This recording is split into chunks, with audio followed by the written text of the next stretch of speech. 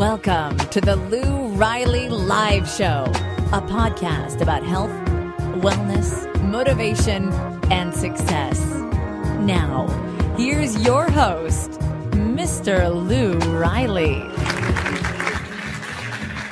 Good evening, good morning, good afternoon, whatever time of day it is, wherever you are. How are you? This is Lou Riley.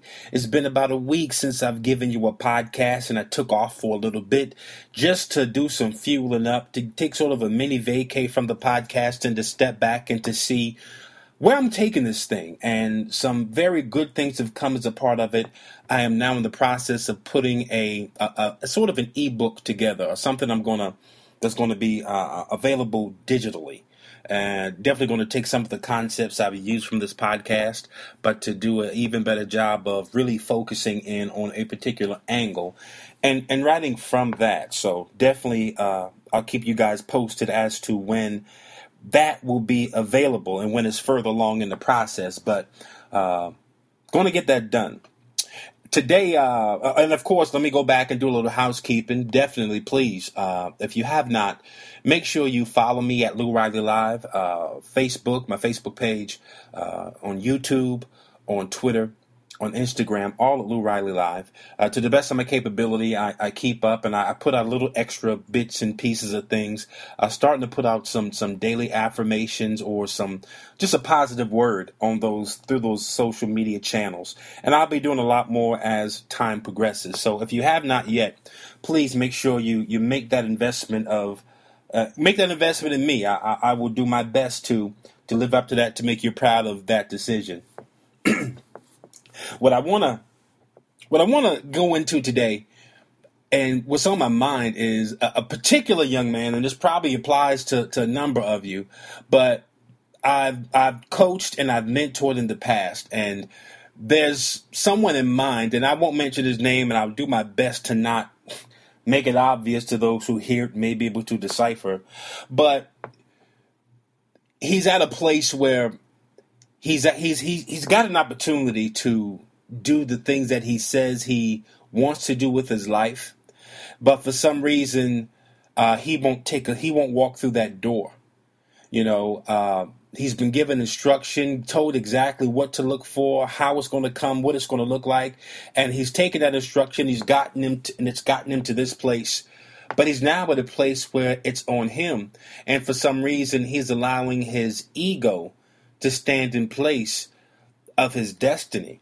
And that's that's what I fear most. So I'll tell you, uh, I sent him ever so often. I sent him a couple of quotes or, or positive thoughts or things of that nature, just a, a little something to help, hopefully to help trigger his own, trigger his mind, to get him to start solving the puzzle for himself. You know, I think so many times one of the mistakes we make as adults is that we try to give children, young people, we, we try to give them the answer to the question. And sometimes we need to make sure that, that they are equipped to figure the question out, given a, a few pieces of the equation. But a lot of times, and it's rooted some. I can partially say it's rooted in love, but that's a completely different topic. Uh, but it also is partly rooted in fear. Sometimes we just fear that we fear that without the input that we're giving, that this person is going to make a bad decision, and now we're taking on guilt for the for the choices that they didn't make. And truth be told, is that when it's all said and done, it's that each of us has our own destiny that we're responsible for, for finding out, for seeking, for fulfilling, for making an attempt to fulfill. And I see so often, especially in the realm of sports, I see a lot of parents who do too much for the child. They have trouble letting go. And they think that they actually have the capability to protect their child from everything. And the truth is that you don't. And I'm not saying that every situation is is one that's going to be conducive to your child's betterment, but it's up to you as a parent to do your research, to do your homework, to observe, to ask questions, and I definitely encourage you to do so when you decide to put your child into a an athletic program or a a, a leisure activity type program. Do your research, know who you're dealing with, know their background. But when you're in a situation, and especially from the standpoint where I was, where there were three men, three men, th- three very strong male figures who had been successful at dealing with kids all their lives, you can sort of drop, you can sort of, I don't want to say drop your kid off, although that's happened, another story, but, but you can present your child. And, you know, our thing as coaches, once your child steps out of that car and crosses over to that line to the playing field, they're ours. They are ours. And trust that we are going to, with love, we're going to bend that sap. We're going to raise that child up in a way that's going to be conducive to their success, not only right now, but in the future. Because as a coach, as a person who's coached youth sports, you know, winning is great. Please don't get me wrong. But I would in I would in a moment's notice sacrifice winning in order to make sure your child has the lessons that they need to learn in order to to to induce winning or to create a win later on in life.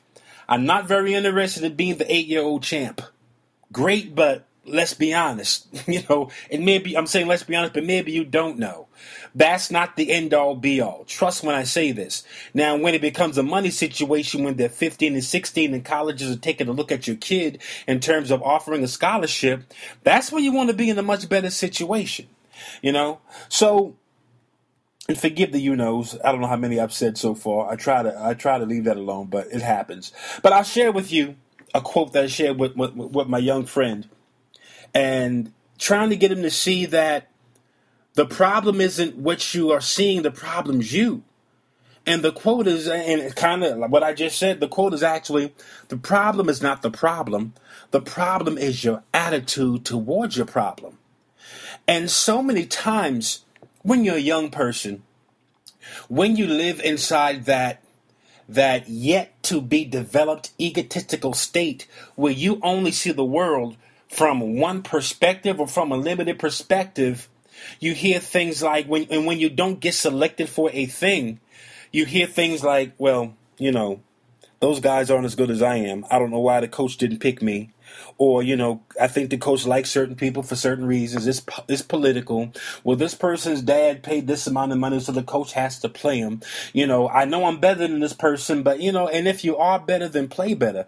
You know, and, and sometimes that coach can put you at per, can put you in a position that you're not used to playing. And sometimes coaches can do that just to see how you're going to respond to adversity. You know, in so many ways, think about it. We may stake a claim and we tell life, we tell the universe, we tell God, however you want to define it or describe it, we tell God where we want to be in life, and God doesn't put us there. He puts us someplace that we may not think is conducive to it, but for some reason, uh, the Almighty knows and understands that there's something there for us to learn in order for us to be where we want to be. Sometimes if we were just automatically given what we wanted, what we dreamed about, we don't appreciate it because we didn't go through the steps in order to truly to truly understand how valuable it is. You know, and that's just it. You know, um, you've got to and I say got to, but you ain't got to do nothing but stay who you are and, and die. You, ain't got to do nothing, you know. So I, I, say you got to in relative terms. And, and, I say that for the person that truly is working towards achieving what it is they want out of life. You know, you're going to bump your head a few times. You understand? That's going to happen. That's that's just a part of it. And you have to learn how to look at things differently. So, like that quote talks about, the problem isn't the problem, the problem is your attitude towards the problem. When you meet with adversity, if you start cussing it out and just figuring, you know, I'll never get it done. It's too hard. You, you you turn away, you walk away, you don't step up to the challenge. Well, are you really committed to being, doing, and having that which you say? You know, uh, just today I pulled this off of one of my Facebook friends' uh, walls. It says chances of success. Zero percent when you and it's that's kind of your response to adversity is going to determine your chances of success. So the person who says I won't, there's a zero percent chance. The person that says I can't, there's a 10% chance.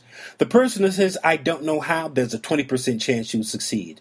The person that says I wish I could, there's a 30% chance. The person that says I want to, there's a 40% chance. The person that says I think I might, there's a 50% chance you're going to succeed. The person who says that's 50%. The person that says I might, there's a 60% chance that you succeed. The person that says or, or really feels and thinks that their attitude is I think I can, there's a 70% chance you can succeed. The person who says I can, there's an 80% chance, 80% chance that you're going to succeed. The person who says that I am going to succeed, there's a 90% chance you succeed. And obviously the person that says I did, there's a 100% chance that you're going to become successful. And all of those, I won't, I can, I don't know how, I wish I could, I want to, I think I might, I might, I think I can, I can, I am.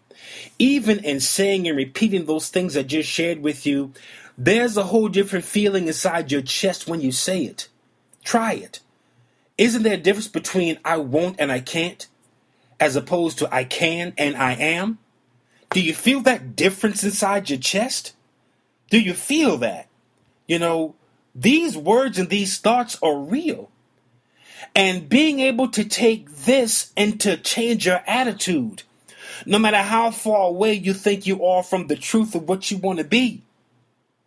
When you learn how to use these words in order to sort of, and again, this is sort of that self hypnosis type thing I've spoken about in an earlier podcast episode.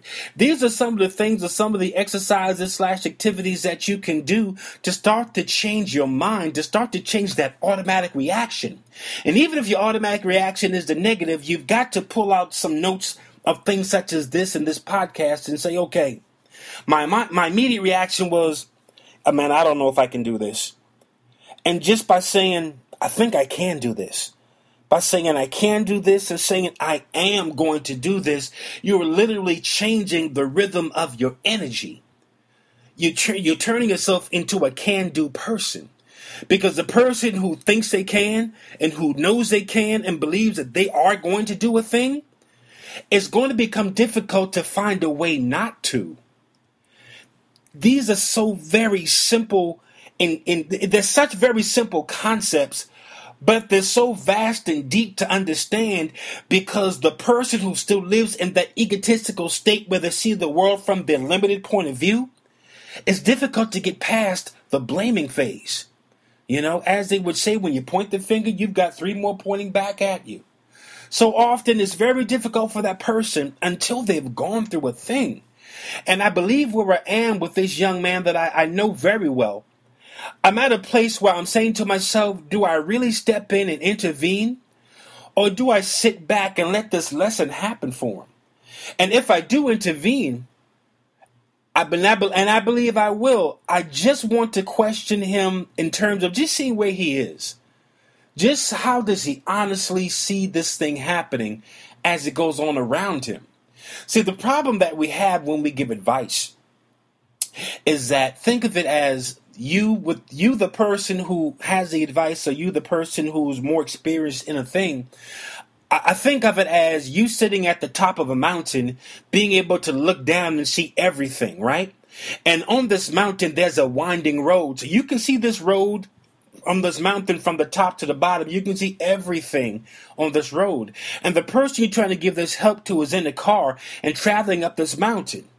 And you see a boulder that started up at the top that's going to eventually collide with that person coming up the bottom from the bottom of the hill. And you're calling down to that person saying, Hey, be careful because there's this thing coming your way. And that person is saying, No, there's not. I'm good. The roads are clear. Well, you know, the person who's right, and, and in that moment, if you look at it from the both vantage points, each of them are right to a degree. But the person with the better vantage point is 100% correct because they can see everything. They can see everything that that is going to happen before it reaches you. And that's the problem with giving advice, especially when you've got that great vantage point, is that because many people can't see that very far ahead of them, they're going to reject your advice. It's not necessarily a personal thing, maybe sometimes it is. But in their minds, I'm just going to trust what I can see. But as I mentioned in an Instagram video, it says that, and I, I pulled this from an author. It's not mine, but soon it will be. Trust, I'll reword this thing. But it says that in our walk in the light that illuminates our lives, as we walk in our own light, and when we one day reach the end of the light that we walk in, and there's only darkness ahead of us, you've got to have the faith and belief that as you enter that darkness and out of your light, there's either going to be solid ground for you to stand on or wings there so that you can fly. So many of us only walk in the light that surrounds us. That darkness represents the end of your comfort zone, represents that place beyond your own understanding. That darkness represents all the things you dream about.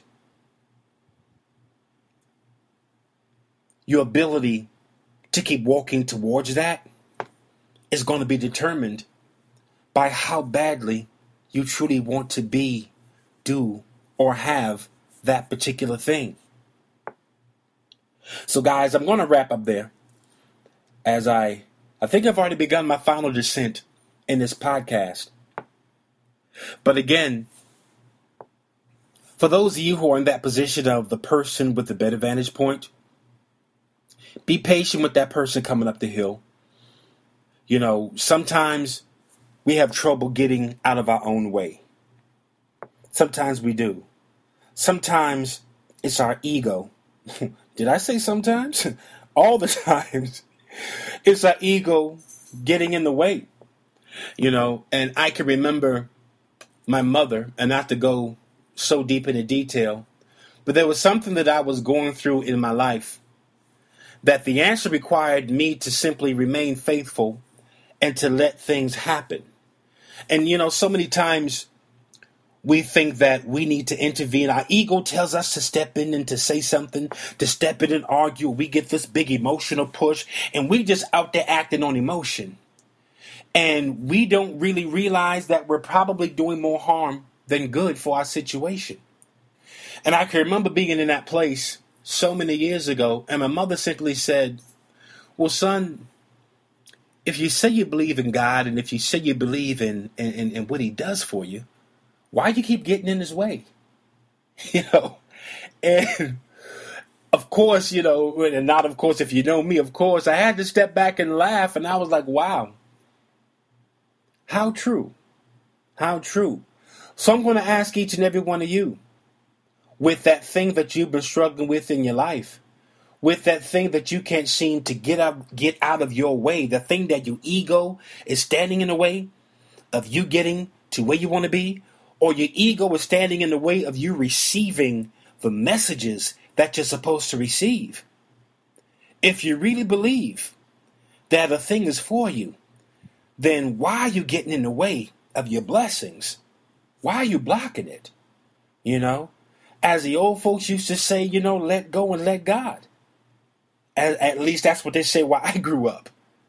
You know, lean not upon your own understanding.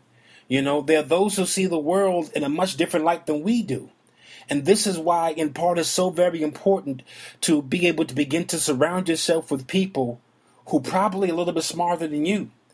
As they say, if you take a poll of the friends that you hang around, you know, as I say, four or five people, you, you, you are going to become the sum total of the people that you keep company with.